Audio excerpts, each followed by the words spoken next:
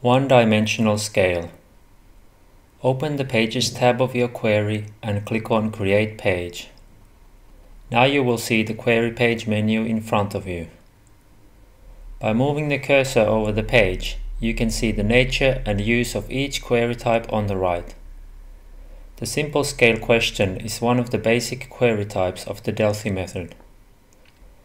Panelists often find this query type motivating for its clarity especially when the answers are seen real time.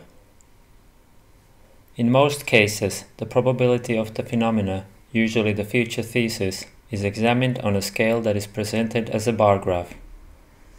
Click on the option.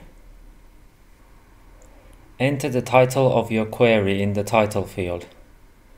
Write your question or your future thesis in the thesis field and write the explanation or the background information in the bottom text field if necessary. Below the text fields, you will see the default settings of your query. You can edit the settings by clicking on the Show Options tab. At the label field, mark the criterion variable for your question. The most commonly used criterion variable for the one-dimensional scale is probability. From the Type menu, you can choose how the scale is visually displayed. The options are a radio button list or a slider.